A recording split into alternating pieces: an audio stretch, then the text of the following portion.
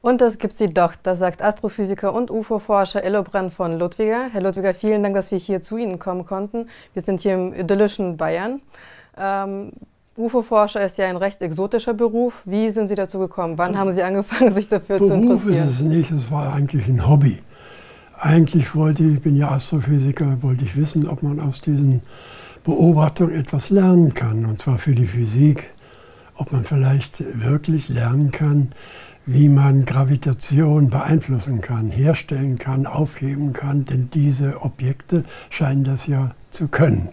Und deswegen habe ich mich seit 64 Jahren jetzt mit dieser Sache beschäftigt und viel gelernt. Sie waren ja auch in der Raumfahrt. Ich bin in der Raumfahrt äh, tätig gewesen. Zwei Jahre erst auf der Sternwarte in Bamberg und danach war ich dann äh, bei MBB, was jetzt, oder DASA und jetzt Airbus heißt, ja. Haben Sie selbst einmal UFOs gesehen? Naja, ich bin mir nicht so ganz sicher. Ich war noch zu jung, äh, mit acht Jahren, und habe da so einen schwarzen Teller gegen die Windrichtung fliegen gesehen. Da hat meine Mutter gefragt, was das hätte sein können. Und sie sagte, ach, das gibt so verschiedene Strömungen in der Atmosphäre. Das war sicher ein Ballon. Aber, das hat mit, aber sonst habe ich es noch nicht gesehen.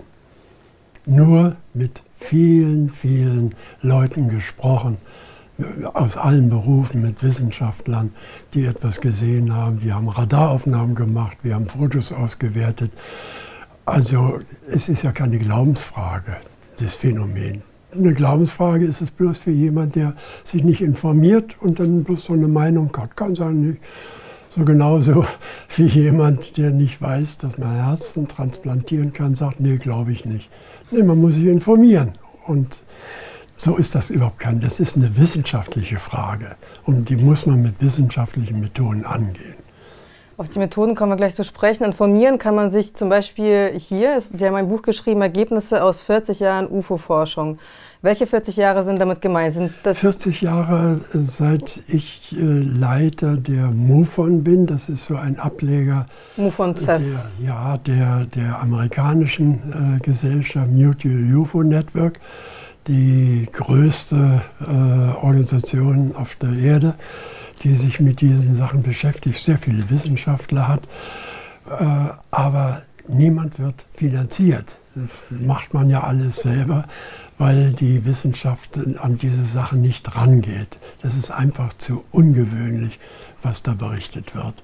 Und da möchte man sich die Finger nicht verbrennen. Das ist ja immer noch ein Tabuthema jedenfalls bis vor zwei Jahren in Amerika gewesen.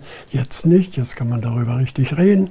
In Deutschland muss man immer noch die Klappe halten, dass man sich damit beschäftigt. Das ist IGIT und äh, eben eine Frage der Information. Hier informiert sich keiner.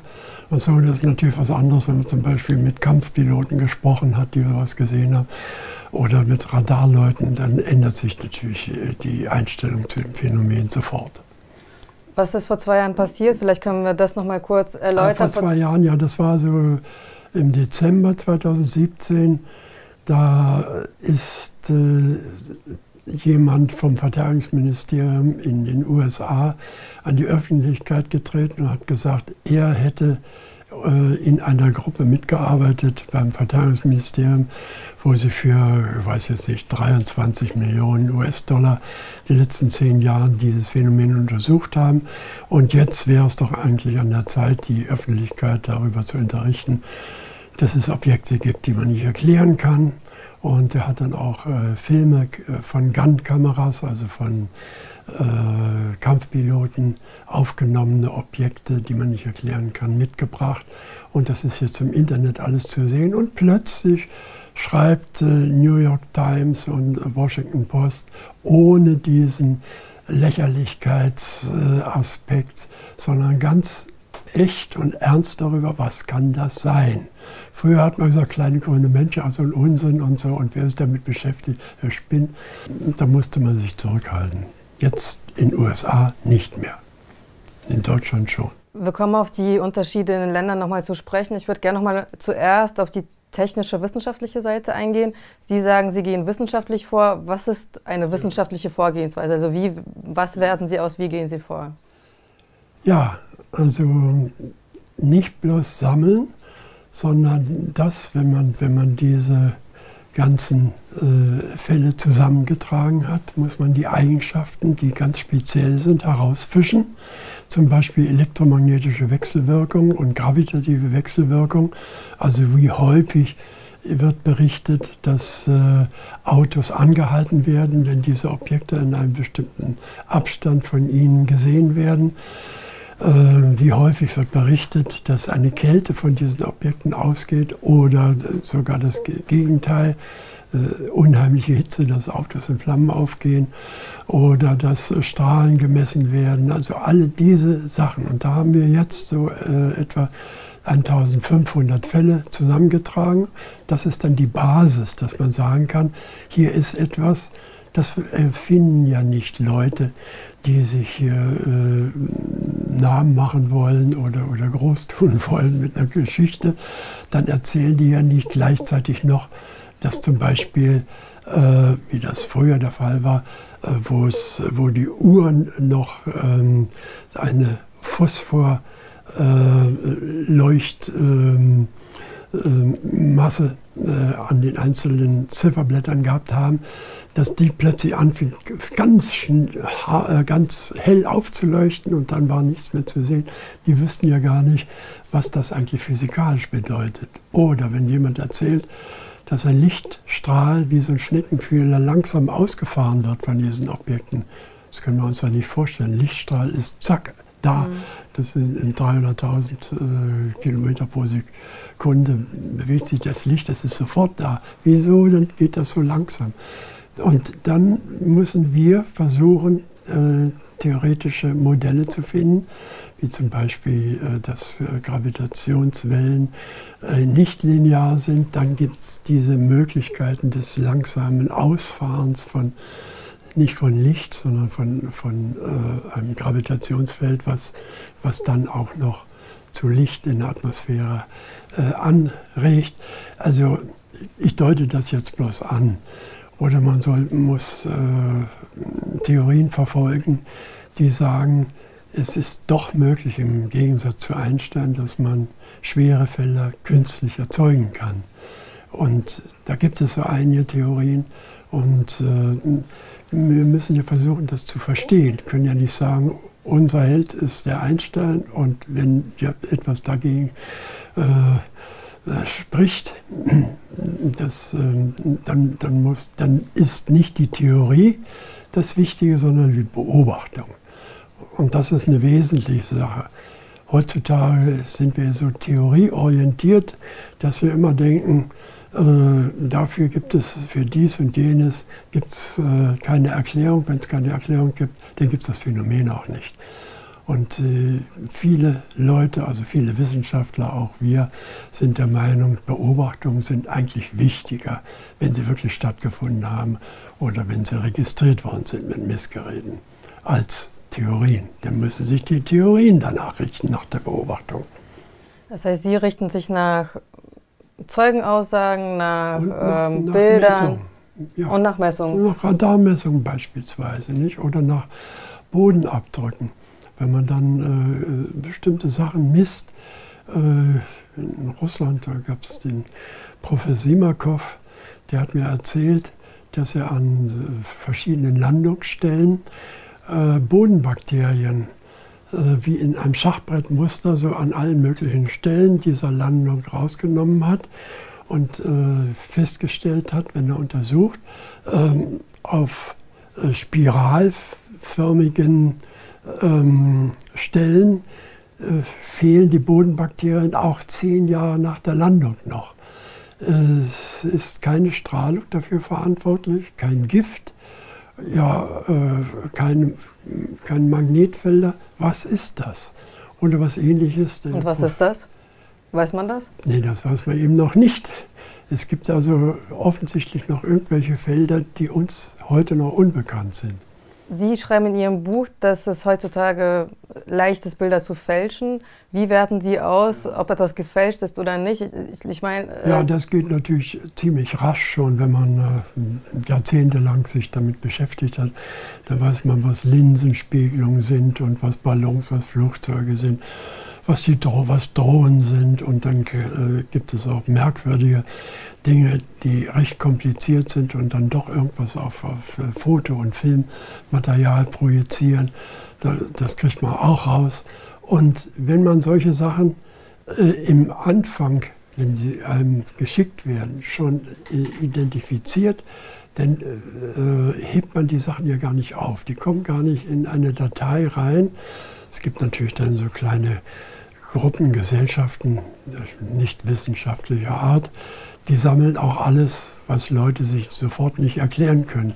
Da sind dann Sternaufnahmen dabei und Satellitenaufnahmen. Und dann sagen, sagen sie, sie haben ja eine UFO-Meldung bekommen und die können sie dann aufklären später mal irgendwie. Und so kann man 90 Prozent aufklären.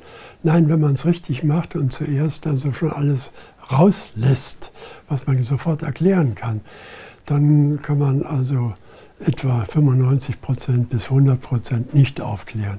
Also die wissenschaftliche Organisation in Hessdalen in Norwegen, die kann 100 Prozent nicht aufklären. Wir vielleicht 95 Prozent nicht, wenn man da die Filme dazu nimmt, was dann schwierig ist, da muss man erst ein bisschen arbeiten. Sagt zunächst können wir es nicht äh, erklären. Aber was immer so erzählt, 90 Prozent kann man aufklären. Ja, wenn man, äh, wenn man ganz einfache Sachen, die gar nicht dazugehören, schon damit dazu zählt, Sterne und Satelliten und sowas. Und hinterher sagt man, das war aber ein Satellit. Ja, du hast doch nie ein UFO, dann ist es doch nie auf, kann man es doch nicht. Aber das heißt, das sind noch nicht mal wirklich gewollte Fälschungen, also nicht nur, sondern auch ja. wirklich einfach nur Aufnahmen, wo sich jemand etwas nicht erklären konnte. Ja, ja. Und das, das stellt sich dann als etwas. nicht ein UFO, dann man muss immer sagen, wie ist denn die Definition? Die Definition ist, es ist nur unidentifiziert, wenn auch äh, Spezialisten das nicht aufklären können, also so wie wir. Und nicht, weil, weil es der Zeuge behauptet, ich habe ein UFO gesehen. Das ist kein UFO, wenn, man, wenn sich irgendjemand was nicht erklären kann. Er muss erst zu Spezialisten gehen, wenn die es auch nicht erklären können.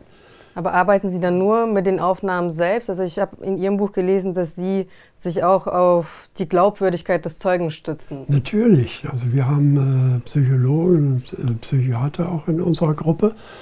Wenn die Sachen ein bisschen zu seltsam sind, dann müssen wir ja wissen, mit wem wir es zu tun haben. Es wird ja nicht alles geglaubt so einfach.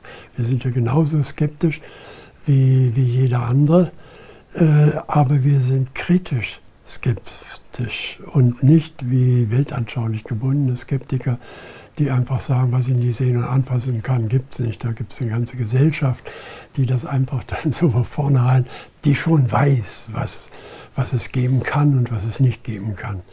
Die auch glauben, dass die Physik praktisch schon am Ende ist. Dabei beginnt es ja langsam erst. Wir machen ja erst seit 100 oder 200 Jahren richtig Physik, Technologie und Physik.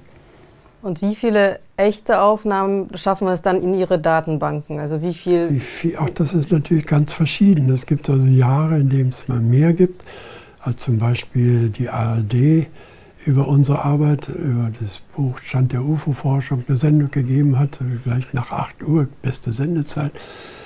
Also da kriegten wir Meldungen, die konnten wir alle überhaupt gar nicht entgegennehmen und, und verfolgen. Das wurde meistens am Telefon, also da hätte man dann ganz viel machen können. Meistens ist es nicht so, dass sie gerade eben gesehen wurden, die Sachen, sondern längere Zeit zurückliegen. Aber so im Mittel sind etwa zwei pro Monat hier in Deutschland äh, Fälle, die wir nicht aufklären können. Jetzt sind es ein bisschen weniger geworden für unsere neue Organisation, die mehr wissenschaftlich arbeitet. Die ist noch etwas unbekannt. Die MUFON, als ich da früher äh, 40 Jahre lang die Leitung hatte, äh, da waren das eben zwei pro Monat, die wir bekommen. Das ist jetzt die neue Organisation, IG, ja. IG AAP. Ja, die interdisziplinäre äh, äh, Gesellschaft zur Analyse anomaler Phänomene, was genannt IGAP. Ja. Sie haben Statistiken mitgebracht ähm, und Sie sagen, es ist noch wichtig. Ähm ja, das ist das Wichtigste überhaupt, denn wenn Sie irgendwo im, im Fernsehen etwas äh, hören, meistens gibt es ein oder zwei Fälle, die dann besprochen werden und der Zuschauer denkt sich, naja, da ist mal wieder irgendwas gesehen worden. Aber wenn man die äh, Häufigkeiten der Beobachtung, wie sie monatlich äh, gemeldet werden, zum Beispiel aus amerikanisch oder englisch sprechenden Ländern, also in Amerika, Kanada äh, und äh, Australien, England äh, und anderen Ländern, also die, die englisch äh, sprechende äh, Bevölkerung haben. Ähm, wenn man das also zusammennimmt, dann sind, ich habe hier mal eine Kurve gezeigt, die die rote Kurve ähm, bedeutet, hier wird aufgetragen, die Häufigkeit der Sichtung. Das ist immer um die 600, das kann man jetzt hier nicht erkennen, aber so um die 600 Fälle pro Monat werden gemeldet. Einmal sogar 1400, das war im Juni äh, 2015. Was war da los? Können Sie sich das erklären? Warum nee, ist da so? Kann man, also wissen wir auch nicht, woher, warum das so war äh, ein Ausreißer. Aber das Interessanteste für uns sind natürlich äh, die Fälle die, oder die Häufigkeit der Fälle, wo Objekte den Zeugen näher als 30 Meter kamen. Nicht 30 Meter weg, sondern noch näher, zwischen 5 Meter oder so, dass sie es anfassen konnten, bis zu 30 Meter. Und das ist in jedem Monat, das ist die untere Kurve hier, sind das etwa um die 100, mal mehr, mal weniger. Äh, gestern habe ich gerade, das ist ja wieder der 1. Juli, wieder die Meldung aus den USA bekommen, da waren es 66, ist also ein bisschen weniger als 100 gewesen. Aber es gibt dann hier auch mal äh, 320, na, äh, ja doch 320 bei dieser Spitze. Und da kann man nicht mehr von Verwechslungen sprechen. Dass man so wenig davon hört, ist eben, dass sich niemand traut und wagt, an die Presse zu gehen. Meistens geht man zur Polizei, wird da ausgelacht, oder, äh, weil es ja das Phänomen nicht gibt, angeblich. Äh, und deswegen gibt es, multipliziert sich da so dieses Vorurteil. Äh, man weiß, man kann sich nirgendwo hinwenden, wenn man etwas gesehen hat, denn es wird einem ja nicht geglaubt. Naja, nun gibt es also ganz viele, die dann ihre Sichtung nicht melden.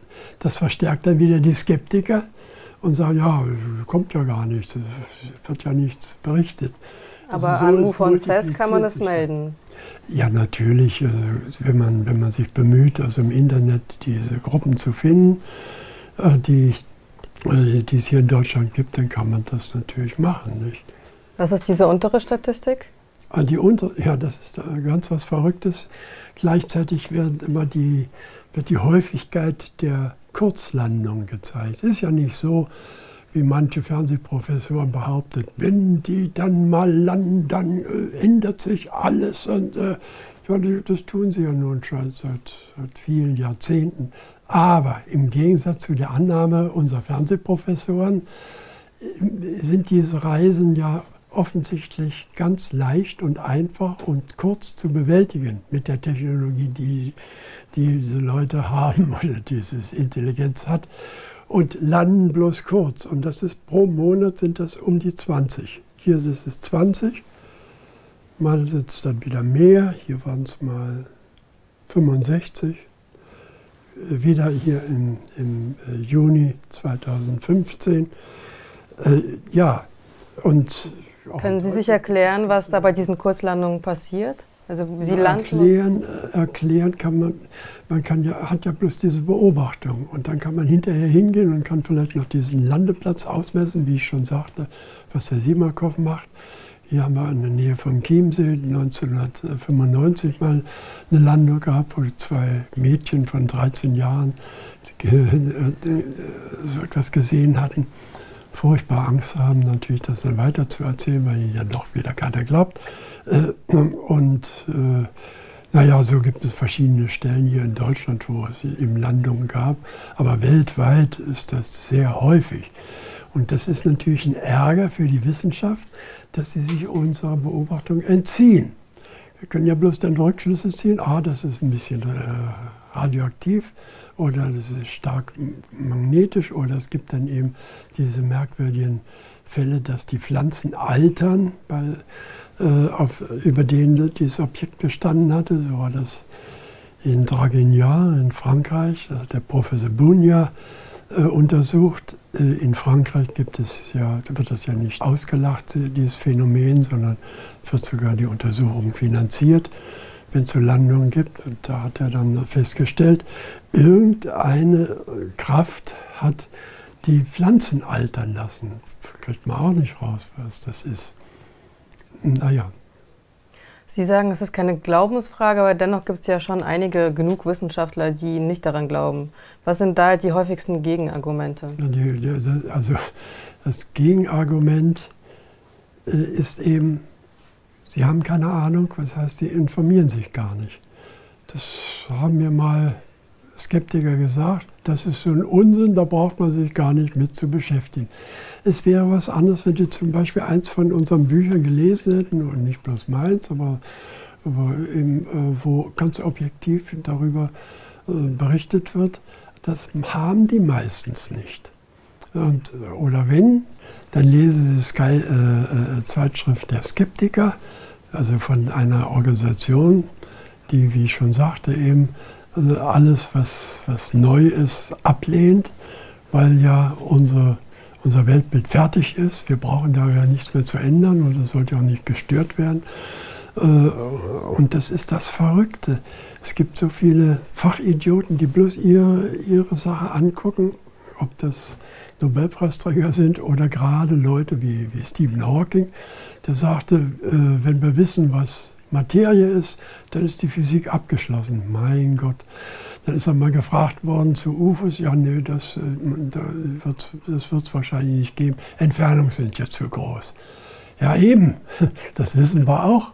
Ich meine, ich habe ja auch Astronomie studiert. Ich weiß, wie riesig die Entfernungen sind. Das ist der nächste, äh, äh, vielleicht planetentragende äh, das, äh, Sonne, das Sonnensystem, dass das äh, vier äh, Lichtjahr entfernt ist, ja, äh, da, da, kann, man doch, kann man doch nicht äh, erwarten, dass, dass die schnell hierher fahren mit dem Wissen, was wir heute haben. Das muss ja ganz anders gehen. Und das herauszufinden, das macht natürlich auch Spaß für jemanden, der neugierig ist und so ein bisschen in neuen physikalischen Theorien so ein bisschen rumstochert und sieht, was denn vielleicht möglich sein könnte, wie man also zu, äh, zu fremden Planeten kommen kann. Und das muss ganz anders gehen als äh, nach der heutigen Physik. Äh, da kommt man nicht weiter. Genau, da muss der, wenn ich das jetzt richtig verstehe, ein Feldantrieb her. Also eines der Gegenargumente ist ja, dass äh, sich diese. Das hatten wir mal gedacht zu Anfang. So fängt man ja dann an. Aber das nützt zwar im erdnahen Bereich oder bis zu den, den äh, nächsten Planeten zu fliegen und etwas schneller als sonst. Mit dem Feldantrieb. Mit so einem Feldantrieb. Vielleicht kann ich kurz zitieren, was, also ich habe äh, nicht mhm. zitieren, ich muss also kurz was vorlesen, weil ich das ja. nicht auswendig kann. Das ist eine von Physiker Burkhard Heim vorgestellte Theorie und die Eckpunkte sind folgende. Es ist ein Universum, in dem es keinen Urknall gab und in dem es keine schwarzen Löcher gibt. Es ist eine Theorie, welche die allgemeine Relativitätstheorie und die Quantentheorie vereint, was ja eigentlich als ungelöst gilt bisher in der Physik. Und es ist ein Antrieb, der eine Überschreiten der Lichtgeschwindigkeit möglich macht und mit dem man 11,4 Lichtjahre in 80 Tagen zurücklegen könnte. War das richtig? Nein, denn die Physik hat sich weiterentwickelt. Erstmal schwarze Löcher gibt es, nur dass die äh, dieser Potentialtopf bis ins Unendliche geht. Das gibt es nicht, weil ja nach äh, die, der Raum quantisiert ist und irgendwann gibt es ein, ein Ende der Quantisierung. Also es, es, geht nicht bis unendlich weiter, aber den, äh, naja, das wird jetzt hier ein bisschen zu, äh, zu speziell, aber das schwarze Loch an sich, sowas gibt es doch. Dann eine Überlichtgeschwindigkeit gibt es bei Burkhard Heim nicht, sondern erst bei einer Weiterentwicklung, die vorgenommen wurde von Dröscher und Häuser, in der sogenannten erweiterten Heimtheorie.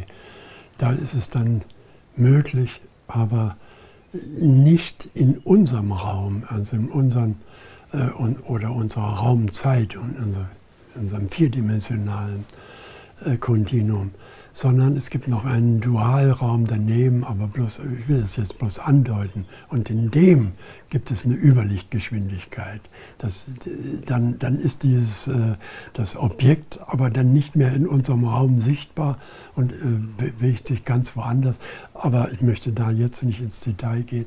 Aber ist dieser duale Raum auch Teil der sechsdimensionalen Welt? Nein, das okay. ist diese Theorie arbeitet bloß mit vier Dimensionen und einem Dualraum. Der Dualraum hat die äh, drei reellen Koordinaten wie, unsere, wie unser Raum, aber eine andere Lichtgeschwindigkeit, eine andere Gesch äh, Geschwindigkeit fürs Licht. Die setzt sich ja zusammen aus physikalischen äh, Komponenten und die physikalischen Größen sind dort anders in dem Dualraum. Und wenn es dann gelänge, darüber zu kommen, dann ist man hier aus diesem Raum verschwunden, kann aber in dem anderen eben mit Überlichtgeschwindigkeit sich bewegen. Aber äh, das bloß zu Ihrer Frage, äh, wie die, die äh, Theorie sich jetzt erweitert hat und in andere Richtungen. Also das heißt, das ist jetzt die neueste Theorie. Sie die sprechen neue, ja hier ja, von der sechsdimensionalen. Erweiterten Heimschen Theorie. Okay. Die, der Heim geht von, einer sechs, äh, von sechs Dimensionen aus. Also es kommt noch dazu, neben der Zeit, eine imaginäre Koordinate, die so etwas äh, wie eine organisierende Richtung angibt. Und die sechste Dimension gibt die Zielrichtung, wohin sich das, äh, was sich da organisieren soll, schlussendlich denn entwickelt. Also die beiden arbeiten immer zusammen, wenn man so will, wirken dann wie so eine negative Zeit. Zeit in der Zeit, da geht alles auseinander, die Entropie nimmt zu, die Unordnung nimmt zu. Und hier durch diese zwei zusätzlichen Dimensionen äh, baut sich irgendeine Organisation auf zu einem bestimmten Ziel. Das ist die Heimschen Theorie.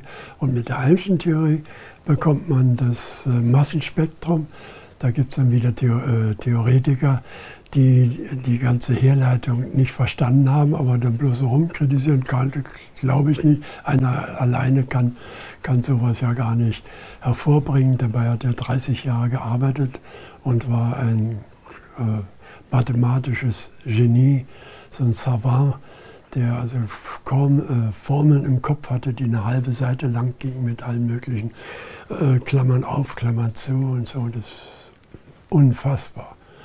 Naja, aber gut, also das steht immer noch aus, dass äh, eine Physikergruppe und nicht bloß wir wenigen, die bei Samstag, Sonntag mal herangehen, sondern dass eine ganze Gruppe finanziert in einem Institut sich mit dieser ganzen Sache beschäftigt. Und da ist auch eine ähm, äh, Erzeugung von Gravitation möglich. Und ein Experiment wollte unsere Firma mal durchführen. Aber das, die Gelder, weil es doch eine Million gekostet hatte, konnten wir dann nicht aufbringen. Das steht also immer noch aus. Und zwar ein Experiment, das beweist, dass Elektromagnetismus und, äh, und äh, Gravitation äh, einheitlich zusammengehören. Und dass man durch eine Änderung von, von Magnetfeldern oder dynamischen Magnetfeldern Gravitationswirkung erzeugen kann und umgekehrt. Um noch kurz bei der Theorie zu bleiben, wir kommen nochmal auf Finanzierung und Länder zu sprechen. Ähm, Sie sagen, dass sich UFOs auch außerhalb von Raum und Zeit bewegen, also in anderen Dimensionen. Ist, ist das ja, dann nicht schon an der Grenze zur Parapsychologie? Genau, ja, genau, das habe ich in diesem grünen Buch äh, auch gezeigt. Und zwar habe ich die Ähnlichkeit gezeigt äh, zwischen den verschiedenen Möglichkeiten, dass, ich habe hier mal eine Auswahl getroffen, 163 verschiedene unidentifizierbare Flugobjekte vor den Augen der Zeugen plötzlich verschwinden. Manchmal fliegen sie bloß schnell weg, sodass man es nicht sehen kann. Das kann man dann auf dem Foto noch sehen, dass es da noch einen Strich gibt, ob die Leute das gar nicht mehr sehen konnten. Aber meistens stehen sie, äh, stehen sie an der Stelle, aber unsichtbar und dann es kommt nochmal und nochmal. Also sie sind eben weg. Und das, ich habe hab hier mal zusammengestellt, äh, ist eine Eigenschaft von jedem dieser verschiedenen Typen, die es da gibt. Ob sie Dreiecke sind, Scheiben oder Kugeln. Allen ist das gemeinsam und zwar in 10% der Berichte wird gesagt, auf einmal war es wie ausgeschaltet weg. Dann ist es gar nicht mehr da. Und das ist in der Parapsychologie das Phänomen der Apporte. Ich habe ja als Freund mal Europas größtes Apportmedium gehabt und habe mit dem experimentiert und weiß äh, da, ähm, dass also Materie komischerweise aus dem Nichts kommen kann. Das ist für einen Physiker natürlich völlig verblüffend und die ganze, ganze Weltbild geht natürlich erstmal einen Bach runter. Und dann überlegt man, kann denn sowas sein? Und wir haben dann auch eine Theorie aufgestellt, wie, wie diese Objekte äh, in einer sechsdimensionalen äh, Theorie äh, möglicherweise also unseren Raum verlassen können, in diesen anderen Bereichen dann aber weiter existieren. Und da in diesen anderen Bereichen gibt es weder Geschwindigkeiten, Entfernung noch Zeit. Und deswegen kann man eine Bewegung instantan machen. Und da gibt es nur Strukturen und Strukturresonanzen. Aber das ist jetzt mehr eine theoretische Sache. Aber Sie haben schon recht, man kommt hier in die Gegend von Parapsychologie wenn wir nicht bald mal anfangen, die Sache auch ernst zu nehmen und ein bisschen mehr untersuchen, so wie das die Chinesen jedenfalls in den 80er Jahren gemacht haben, die also äh, aus den Schulen dann so kleine Kinder rausgeholt haben, die diese Fähigkeit und Begabung hatten und damit gearbeitet hatten. Und ja, die haben äh, Apporte, mit Apporten richtig experimentiert. Also steht da alles drin. Und ja, äh, also das Weltbild ist noch nicht fertig, was wir hier im Moment haben. Wir müssen wahrscheinlich noch einige Dimensionen dazu nehmen, äh, sonst verstehen wir die ganzen paranormalen Phänomene nicht und lachen dann Leute aus, die da mit seltsamen Dingen ankommen, wie mit Materialisation. Das kann es ja gar nicht geben. Richtig, in der alten Physik nicht, in der jetzigen. Kann man da sagen, dass die Grenzen zwischen Psyche und physischen Erscheinungen verschwinden, zwischen Materie und Geist? Kann man so sagen. Also jedenfalls muss man das mit einbeziehen in eine weitere Sicht. Kann man nicht sagen, hier haben wir dann bloß das Materielle, so nach Descartes etwa, hier haben wir Geist und, und hier haben wir, haben wir Materie und wir beschäftigen uns bloß mit dem Materiellen und das ist wirklich die Physik, die Physis, die wir beschreiben. Es gibt ja die Wechselwirkung und die gehören ja natürlich dann auch dazu. Denken Sie an Uri Geller, von dem viele gemeint haben, das wäre bloß ein Zauberkünstler. Und in der Zwischenzeit gibt es, oh, das war schon 2015, von BBC diesen Film, uh, The Secret of Uri Geller. Und da ist dann festgestellt, dass die Geheimdienste mit ihm tatsächlich gearbeitet haben. Man kann das machen. Wenn diese Fähigkeiten mal da sind, dann kann man alle möglichen seltsamen Dinge äh, äh, tun. Kannst du natürlich auf dem Standpunkt stehen, verstehe ich nicht, glaube ich nicht und aus. Dann lebt man auch ruhiger. Da hat man so ein kleines eingeschränktes Weltbildchen, vielleicht noch mit, mit einer netten äh, Religion dazu, dann ist man, lebt man sicher und hat so ein Ziel, wo es hingeht und nach dem Tod ist alles aus, Schluss. So, so ist es ja leider nicht. Die Welt ist komplexer und komplizierter und tja, aber äh, das stört natürlich viele. Das, das ist, dass wir zum Beispiel einen Besuch einer fremden Intelligenz bekommen. Das ist das größte Ereignis, was in der Menschheitsgeschichte uns je begegnet ist. Nicht bloß Kopernikus, der dann festgestellt hat, die Erde bewegt sich nicht um die Sonne, sondern umgekehrt.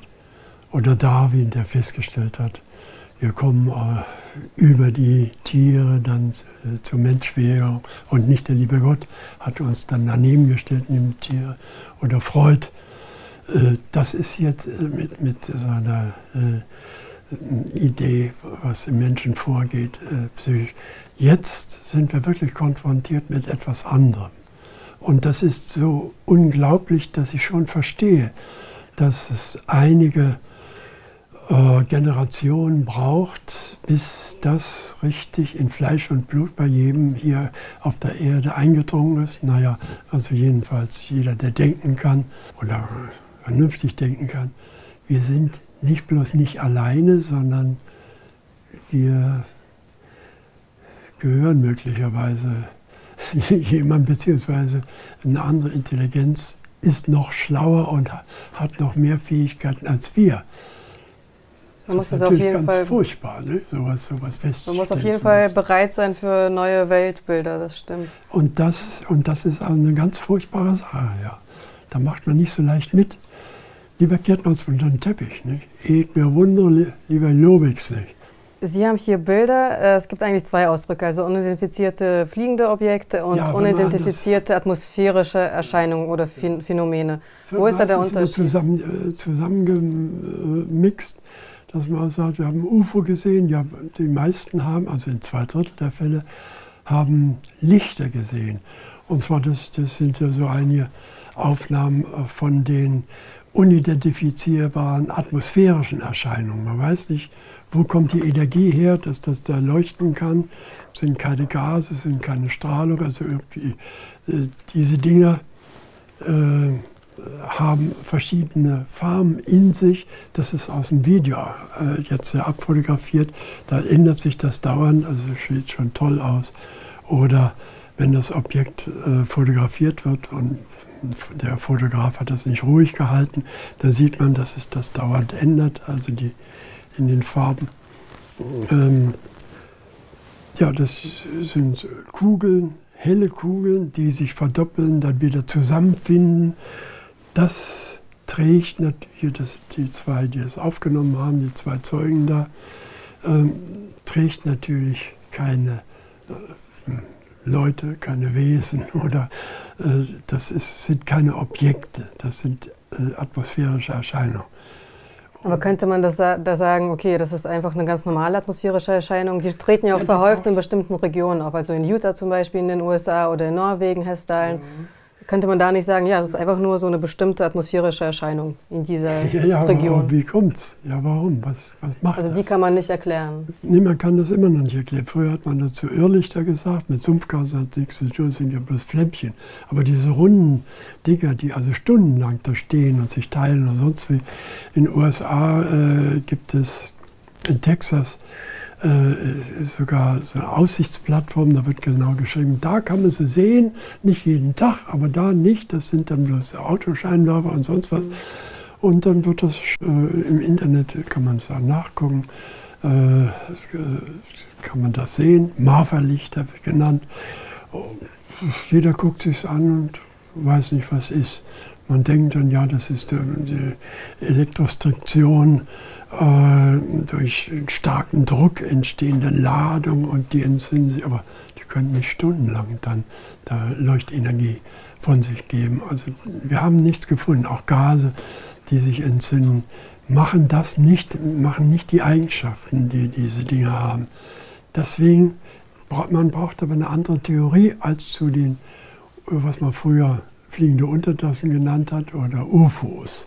Das, da steht ja für O-Objekt drin. Das sind wirklich, äh, wenn man sich anguckt, feste, äh, feste Kugeln, also hier mit gewissen Strukturen. Das ist hier ein mhm. Bild, wo gleich eins, zwei, drei, vier, fünf, sechs verschiedene von diesen Kugeln in der Nähe von Weilheim fotografiert worden sind. Oder, ja, hier sind nochmal diese Dinge. Das hier ist das bekannte, die, die, die bekannte Tasse. fliegende Untertasse, äh, die dann bei der NASA auf die Form hin mal untersucht wurde. Ist keine Radkappe, wie Skeptiker gemeint haben. Dazu ist es viel zu unsymmetrisch. Mhm. Und das ist dann auch wieder in Göttingen gesehen worden. Also der Mann, der mir geschildert hat, was er gesehen hat, das deckt sich ja mit dem, was fotografiert wurde. Mhm. Der kriegte, nachdem ich ihm die Fotos gezeigt habe, richtig einen Schock. Sagt, das gibt es ja wirklich. Jetzt habe ich erst gedacht, hier auch, hat er gezeichnet. Das ja, sieht ja genauso aus wie das, was da bei der NASA von dem Dr. Richard Haynes, äh, da ist er nochmal, äh, und das ist der Mann, der das fotografiert hat. Zwölf Aufnahmen hat er gemacht. Eine der besten ist diese da. Aber es gibt dann auch äh, so seltsame Objekte, die dann von den Zeugen so bezeichnet werden als Kinderkreise. das sieht ja auch so aus etwa. Also verschiedene Formen. Ja. Oder diese Dose da. Äh, dann wieder. Objekte. Also ich zeige Ihnen bloß Objekte, die wir selber analysiert haben. Das haben wir alles mhm. untersucht. Das sind echte Aufnahmen. Oh, Sie haben auch Radaraufnahmen. Ja, und die Radaraufnahmen sind das, was natürlich jeden am meisten überzeugen müsste. Also mich auf jeden Fall. Da haben wir hunderte von Aufnahmen bekommen, weil wir das Glück hatten, mit einem Radarcontroller aus der Schweiz in Verbindung zu sein, der seinem Chef äh, gesagt hat, wir sehen doch jetzt dauernd, er macht das jetzt schon 15 Jahre, ist ja immer diese Kugel leuchtend oder auch mehr metallisch die uns ausweichen, uns umkreisen, unsere Piloten, keiner redet drüber.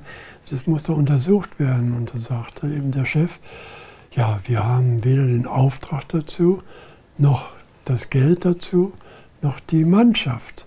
Aber wenn Sie das interessiert, gut, ja, denke, und Sie haben da jemand in der Schweiz, der das macht und untersucht. Das war ein Professor, der jetzt gerade im Mai mit 100 Jahren gestorben ist. Äh, dann äh, kann man, können Sie das ruhig machen.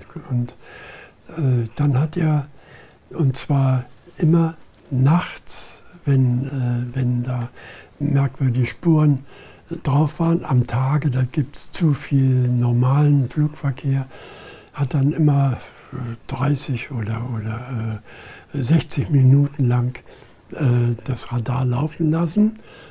Und dann ist das aufgezeichnet worden, so auf Landkarten. Alle zehn Sekunden macht es einen Punkt. Und dann sieht man, dass zwischen den Punkten mal äh, die Bewegung anhielt. Da waren die Punkte so, dann, dann hin und her. Das, das sieht man hier an der Flugzeug.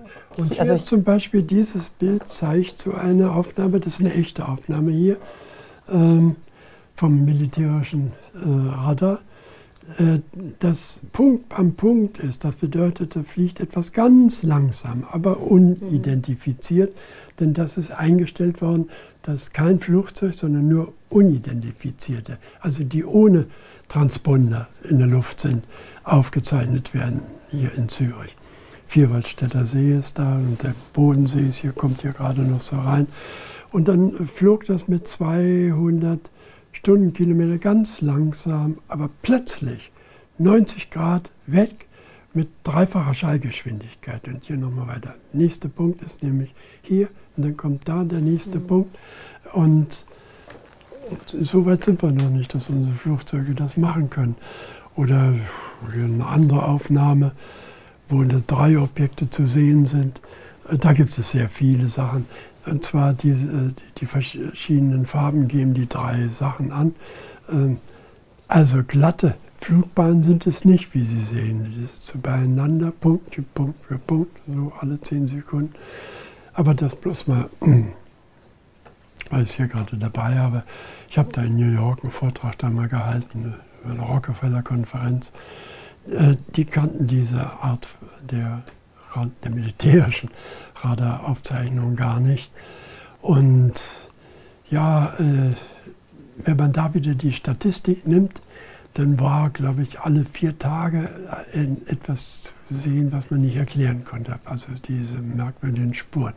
Da ist schon abgezogen, alle möglichen äh, Fehler, die es gibt. Auch diese Radarbilder wurden von mehreren Radarstationen äh, dann zusammengesetzt so dass man nicht sagen kann, also hier hat also ein Radargerät einen Fehler gemacht. Äh, aber hm, was soll man machen? Wenn es nicht finanziert wird und nicht untersucht wird, aber, sind es bloß Indizien. Aber in den USA werden ja Millionen in militärische Abwehrsysteme gesteckt ja, dann und kann auch man in Forschung. Viel machen. Also wenn die den Auftrag kriegen, die, äh, wie, wie es jetzt rauskommt, dass die Piloten diesen Dingen nachjagen sollen und fotografieren sollen, was ja Geld kostet und einen Auftrag und Mannschaft kostet, den wir ja nicht haben, in Deutschland erst recht nicht, dann, dann kann man das untersuchen. Das ist ja kein Problem, dass man wie, wie in der Kirche bloß glauben muss und so. Und der hat aber gesagt, sondern man kann ja rangehen. Nur die Wissenschaft braucht auch Geld. Wir haben bis jetzt kein Geld bekommen. Wir haben das alles bloß aus Interesse selber finanziert. Aber es ist schon sehr interessant, wie viele hochrangige Politiker oder Militärs aus den USA oder Russland daran glauben, ich nenne es jetzt trotzdem ja. so. Ähm, warum ist das Thema dann überzeugt trotzdem sind, überzeugt sind? Warum ist das Thema in den Medien, unter Wissenschaftlern oder in der breiten Bevölkerung ja. trotzdem noch tabuisiert? Naja, also erstmal gibt es ja so einen so Verhaltenskodex, so eine Art Netz äh, unter Journalisten, dass das keiner darüber aus der Reihe fallen darf mit einer plötzlich äh, Meinung, da gibt das Zeug doch. Geht ja nicht. Also, dann, dann ist er ja weg vom Fenster. Hat mir mal einer von den Astronautenprofessoren gesagt, also machen Sie mal weiter untersuchen, aber wenn wir uns damit beschäftigen, sind wir sofort weg vom Fenster. Es gibt ja viel mehr Leute, die wissen, dass das Phänomen existiert, äh, als äh, Leute, die das öffentlich dann verbreiten. Ich finde es bloß nicht gut, dass es äh, Fernsehprofessoren gibt, die sagen, davon halte ich nichts. Sie sollen sagen, davon weiß ich nichts, dann ist in Ordnung. Man muss, ja, man muss ja nicht über alles Bescheid wissen. Aber zu sagen, halte ich nichts, weil das geht und so, und dann fangen sie an zu lügen. Einer hat einmal gesagt, warum werden die Dinge dann bloß immer nachts gesehen? Fernsehprofessor. Warum klärt ihr die Leute nicht auf, dass genauso viel nachts wie, wie bei Tag gesehen werden, weil es nicht weiß? Warum hm, sagt einer von den Leuten, ja, da gibt es Piloten, die sind, haben gelegentlich, ja, warum sagt er nicht, es sind äh, jetzt schon 3000 Pilotensichtungen bekannt. Und manchmal, äh, ich glaube, das waren, nageln Sie mich nicht fest, ich glaube 56 Fälle, wo wirklich physikalische Wechselwirkung mit irgendwelchen Geräten an Bord war, dass irgendwas ausgefallen war. Äh, einmal gab es einen Absturz in Alabama mit so einem Objekt. Dann gibt es diese Objekte über Flughäfen. Was war das da? 2014, glaube ich, in Chicago.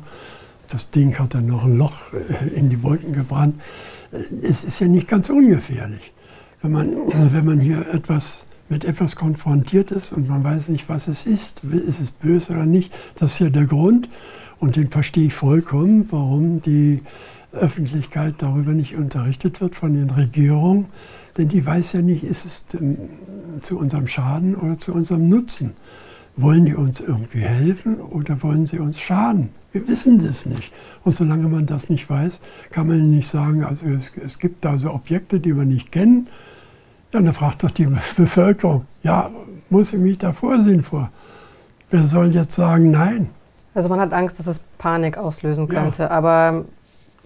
Ja, wenn ich davon, wenn ich von irgendeiner Sache nichts weiß, ist doch vernünftig zu sagen... Hm, aber würde das, aber würde auch eine potenzielle Gefahr die Menschheit nicht zusammenschweißen und vereinen? Also diese, diese Vermutung hat ja, ja auch Ronald Reagan schon mal vor der UNO geäußert, 1987. Ja, ja, ja. ja. Naja, aber dem steht dann entgegen, dass also der äh, Colonel oder Oberst de Brauer in Belgien gesagt hat, unsere äh, militärischen Geräte sind gegen die machtlos. Also wir wissen, wir können da gar nichts tun. Gelegentlich haben diese Objekte über den ICBMs, also den interkontinentalen äh, Atomraketen, ja äh, die äh, Objekte, die, die Start, äh, ausgeschaltet, dass da kein Strom mehr floss. Auch der Ersatzstrom war weg, nichts ging mehr. Als das Objekt flog, äh, wegflog, war wieder alles in Ordnung. Oder in Russland, äh, da ist eine, eins von diesen Interkontinentalraketen plötzlich scharf gemacht worden, so als ob der, der oberste weiß nicht, ob es Putin ist, äh, einen Befehl gegeben hat, eine abzuschießen. Und er zögerte dann, Gott sei Dank, und hat gesagt, na vielleicht ist es ein Fehler. Man kann ja nicht sicher sein. Und äh, also manchmal sind wir so direkt also, äh, am Krieg so vorbeigeschrammt. Und es gibt ja äh, Beziehungen unter den naja, oberflächlich verfeindeten äh, äh, Nationen, die sich aber absprechen da. Das wird ja auch nicht so publik gemacht. Also China, USA und Russland äh, sind ja im Gespräch darüber. dann man muss sich ja im Klaren sein, wenn es die Sachen wirklich geben sollte, wenn das unterstellt wird, was hat das für Konsequenzen? Wie benimmt man sich? Soll man sich wehren? Soll man nicht wehren? Soll man denen entgegenkommen? Wie kommt man entgegen? Soll man abwarten? Wie muss man sich vorbereiten? In dieser Situation ist man ja jetzt. Also die Angst vor der Panik ist da größer. Aber warum ist besonders Deutschland so zurückhaltend? Es gab zum Beispiel diesen berühmten Fall von Teheran aus dem Jahr 1976. Da gab es hunderte ja. Augenzeugen. Es sind Militärmaschinen diesen Objekten hinterhergeflogen. Bordinstrumente sind ausgefallen. Wir haben mit dem Mann gesprochen, ja. Und es gab Berichte, die dann an das, den Außenminister gingen von den USA an bestimmte Militär, die Geheimdienste der USA, an die NATO. Und der Deutsche Presserat hat gesagt, dass jegliche Berichterstattung in Deutschland untersagt wird. Warum ist das so? Darüber, ja, ja, da gab es einen, einen Skeptiker, äh, Möbelverkäufer. Ne? Der wird mal ernst genommen von der Wissenschaft, nicht wir, die, die wir Kollegen sind. Sondern man traut den Leuten, weil die die richtige Einstellung haben zu der Sache, halten nichts davon genauso wenig wie die, die uninformierten Wissenschaftler, die Fachidioten. Man muss das wirklich, man muss sie wirklich Idioten nennen. Denn in der Wissenschaft ist es üblich, dass man sich informiert über eine Sache, über die man redet und urteilt. Aber es ist unfassbar, dass jahrzehntelang Leute kommen, sich nicht informieren und die, die, die Öffentlichkeit belügen. Und zu tun, und da, da muss man nicht dran. Das sind Fachidioten und ich bleibe dabei. Und wen, Sie, wen ich da meine, können Sie sich vorstellen. Wenn man sich informieren will, dem kann ich nochmal das Buch hier ans Herz legen, Ergebnisse aus 40 Jahren UFO-Forschung. Herr von Ludwiger, vielen Dank für das sehr interessante Gespräch, für die Einladung hier zu Ihnen nach Hause. Vielen Dank.